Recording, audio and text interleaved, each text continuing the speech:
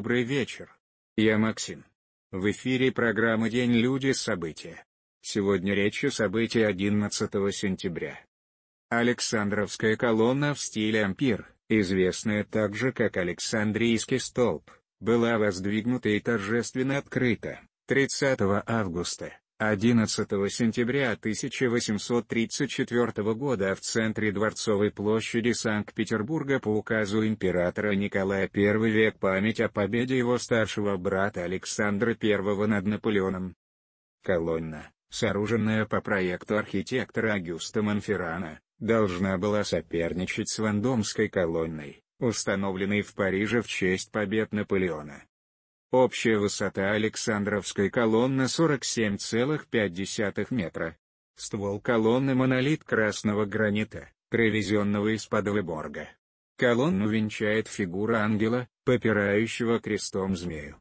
Лицу ангела скульптор Орловский придал черты Александра I, что было сделано по требованию императора Николая I. Постамент также изготовлен из цельного куска гранита и украшен барельефами, аллегорически изображающими различные эпизоды военных действий Отечественной войны 1812 года. Торжественное открытие памятника состоялось 11 сентября 1834 года, которое также ознаменовало окончание работ по оформлению Дворцовой площади Санкт-Петербурга.